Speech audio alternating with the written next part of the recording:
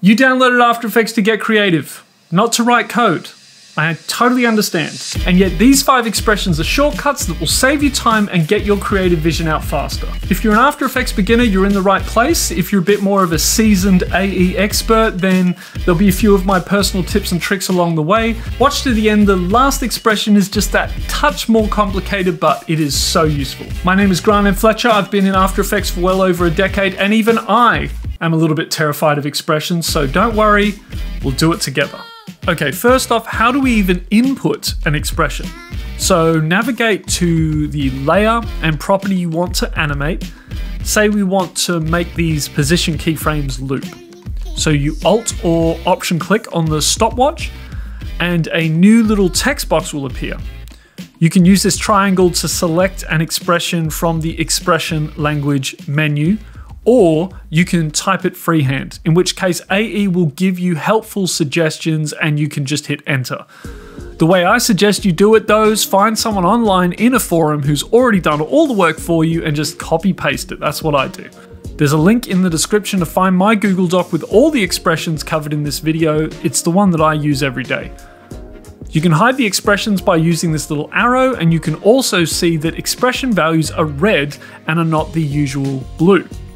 Oh, and to reveal the expression on a layer, you can select it and use the shortcut EE, or select the timeline instead, and EE will reveal all instances of expressions, which is super handy.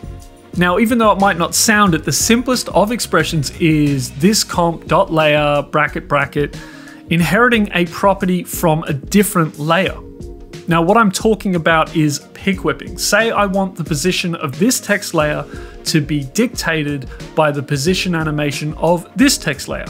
We're going to select both layers and hit P for position, and then drag this pick whip onto the position value of the other layer.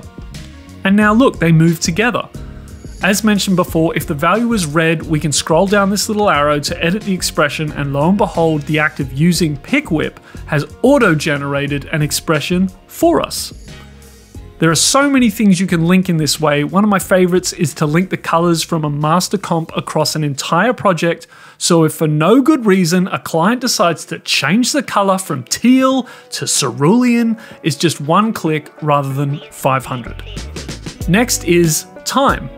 Let's say you want to make some text look like it's underwater. A good start is to throw the turbulent displace effect on there.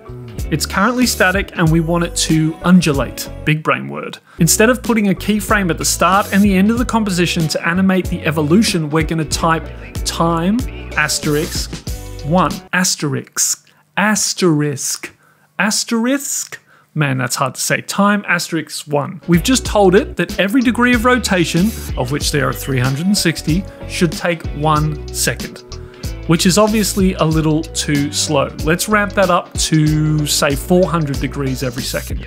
So time multiplied by 400. And now it's some rough seas. Lots of effects have an evolution value, so it's really useful there, but it can also be used on values such as rotation to give you a constant speed that never ends. Next, I'm to show you how to make this, or this, or this, or even this. Yeah, it's not an expression, but believe me, it is super easy. You simply go to the link in the description to buy one of my After Effects title templates, and within a few clicks, you have pro titles in your next masterpiece. Nostalgia has been used by Marshmello, Scando was created in collaboration with Matti Haapoja, and visuals from Arcade and Alpha have been used in some of the biggest music venues in the world. You can make keyframes loop in a cycle, ping pong, or even continue on indefinitely. Now I use loop out the most, which will simply repeat the keyframes over and over until the end of the layer. So say you want to make a looping texture overlay. Instead of copy and pasting your sequence a hundred times, simply trim your comp to the work area and then drag that texture comp into your master comp as a pre-comp. Now we're going to right click, we're going to select time, enable time remapping.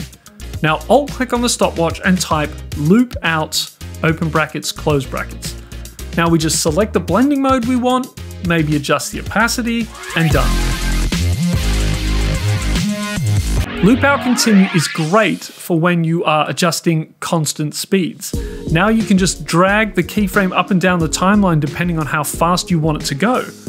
And now is probably a really good time to mention that expressions are case sensitive, and if you're missing a bracket or a quotation mark, you'll get this little exclamation mark error, and then you can click here to find out what the exact problem is. Not that I ever understand what the heck it means, but you know. If you haven't heard of Wiggle yet, I'm pretty surprised, and I know you'll see it come up countless times over your After Effects journey. It's often used on position or opacity to create randomized movement, again without the need for keyframes. So, for example, you can use the wiggle expression on a 3D camera's position to give it a subtle handheld vibe. The first value is the frequency, how often it moves, and the second is amplitude, how much it moves. So here we have a value that jumps around two times a second up to 10 points above or below the original starting value. To get a stop motion look, I'll use wiggle with posterized time to get that constant movement on both the position and the rotation. I often use wiggle for my retro looks as well. Let's, for example, isolate the wiggle to vertical only, like this, to give a subtle jitter. Now, one thing that really bugs me about After Effects is often an anchor point isn't defaulted to the center of the layer. This happens most often with shape layers and text. Sure, if I need to say rotate something from the outside edge, I can just move the anchor point using the pan behind tool. You hit the shortcut Y and you drag it wherever without moving the layer. But more often than not, why is it not in the center?